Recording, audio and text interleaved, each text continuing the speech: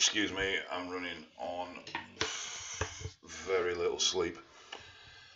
Ah, right, okay. Um, why am I so knackered?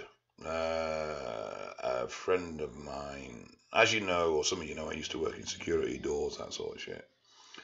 And I recently, last year, I went back to help a mate of mine out, out who had a business as an area manager because it was in the shit and he needed it turning around.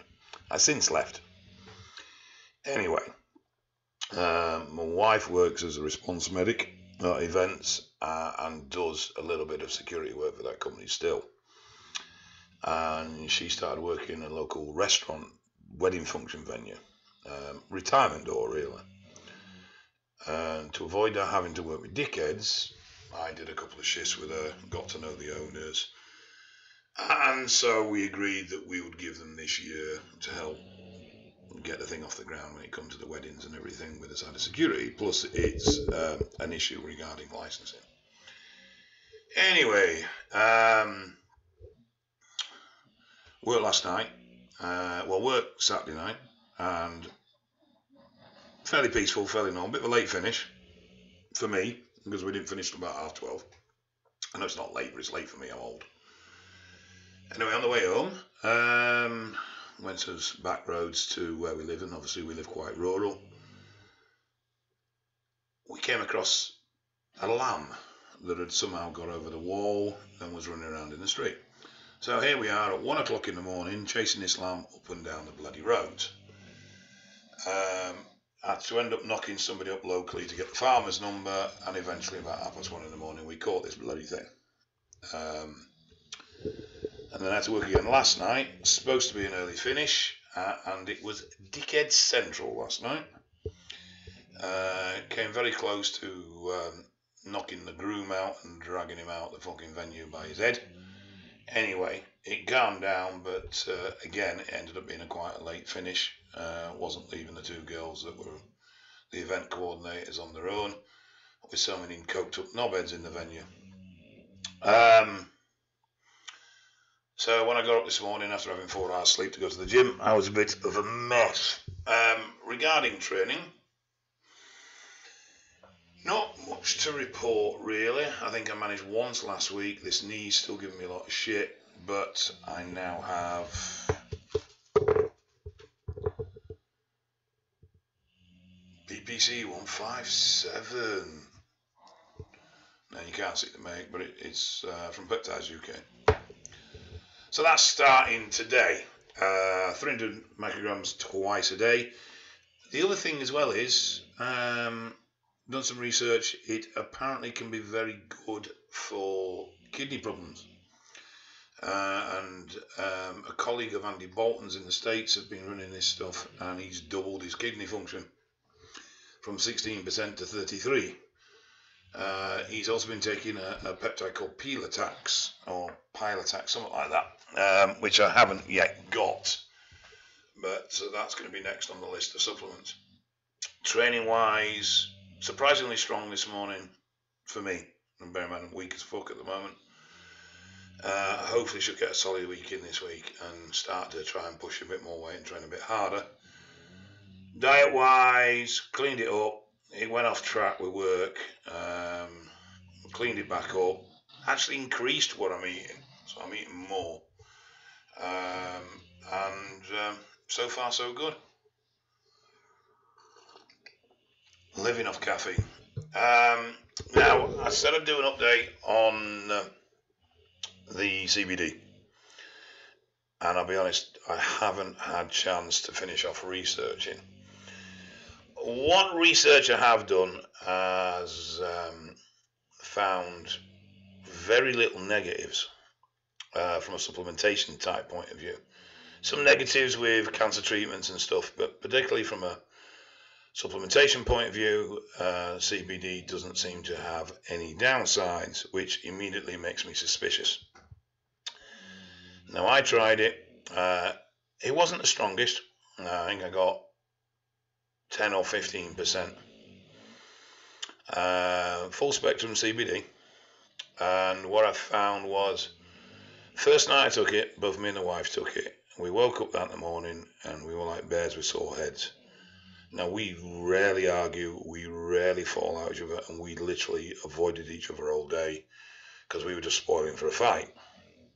She didn't take it again, but I took it the next night, and I had a great night's sleep. But that's dissipated quite quickly, uh, and what I've found now is I'm not really seeing any benefit from it whatsoever no impact on any pain, but then I've not really got high levels of pain. Just got this twinge in my knee that's only hurting when I squat. Um, so I didn't get much from it. Now, granted, though it was a good quality one, it wasn't a particularly strong one, but I was taking a decent whack of this stuff. So it wasn't just a couple of drops under the tongue. I was putting a fair bit in. Um, I need to do more research. I genuinely, generally do. Um, it is the in craze at the moment, and on the surface of it, it looks very, very beneficial. My concerns are that for years I've been jumping up and down about the mental impact of steroid use. In fact, I might even do a video this week on, on mental health.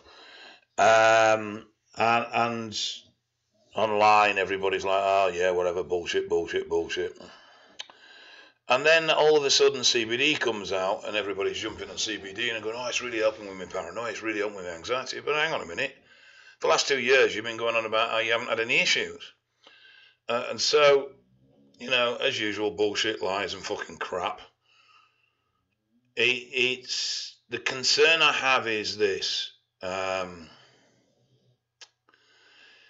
if you're having anxiety problems from your drug use, and then you then take another drug, be it a natural product like CBD, to cover that, then is that going to have a net impact on you increasing or not managing or, or, or getting a little bit flippant with the drug use that was causing the severe anxiety problems in the first place? And what I don't know is does CBD work as a protective agent in that it stops the impact of the drugs on neurochems, which I don't think it does. I think it's more that it overrides the symptoms, which would mean effectively what you're doing is you're taking painkillers and training on an injury. And we all know that's not always the wisest thing to do. So I have reserved judgment I know a lot of people are getting on with it really, really well, uh, and it's showing a lot of benefits, improved sleep and such like. Um, but I just has reservations, and I think in that sense, you know, you're probably not going to go far wrong.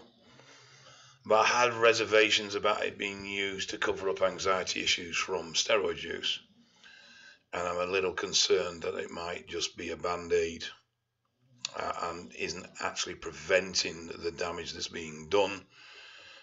And as a result, we could see long term issues with anxiety, possibly even psychosis, um, that are very present unless CBD treatment continues.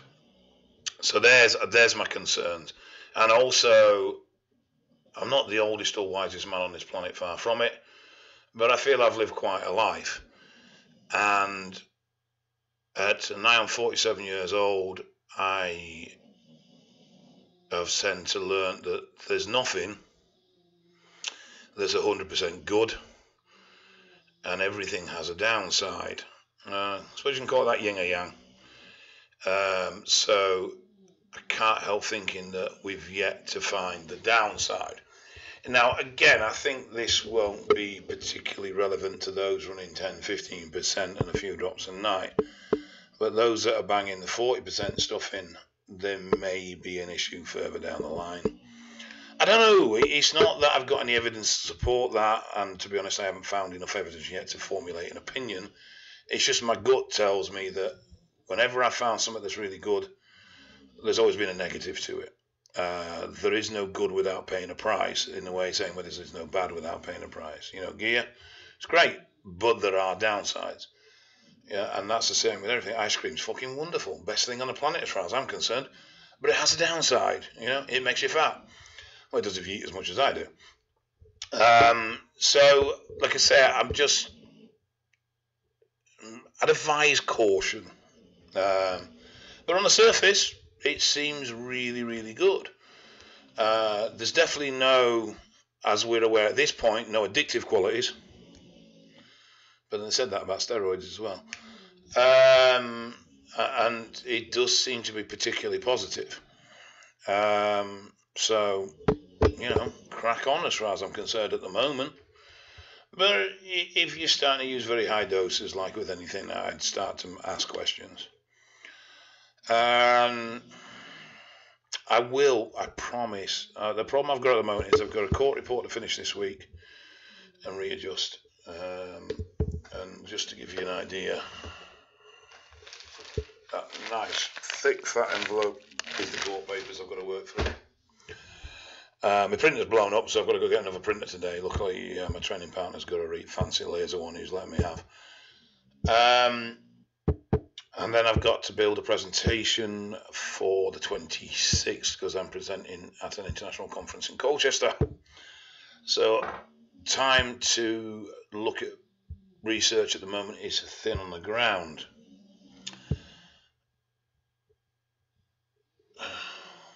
You probably hear the Doofus twins snoring their heads off in the background. Uh, but, you know, we'll see. Uh, otherwise, apart from being knackered today, all is good.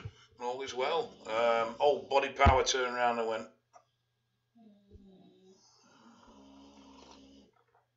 He'll send the wrong signals. I don't know if I told you this. I can't remember. This my memory's fucked. Uh, so body power have turned around and said, "Fuck off." which is unfortunate, but there So I will be there on the Medicheck stand, and I will also be there on the Strong Nutrition stand, which is part of the Explosive Ape stand. Um, so just look for the fat bald ginger bloke that looks like a washed up has been, and you'll find me. Uh, that really is it, guys. I got fuck all going on.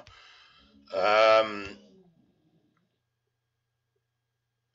I'm gonna do, like I say, I'm gonna do something on mental health. Um, it, it's it's an interesting topic, and, and, I think a lot associate too many negatives with it, which is not necessarily the case. Uh, just because you have what would be deemed a mental health disorder or, or, or imbalance or, or however you want to be PC about it, it doesn't mean you're fucking bonkers. It doesn't mean you're not. Doesn't mean you're a bad person, and it doesn't particularly mean you've got a problem. The problem occurs when you fail to recognize it and therefore fail to manage it. Uh, but I'll say I'll do a video and get into that later.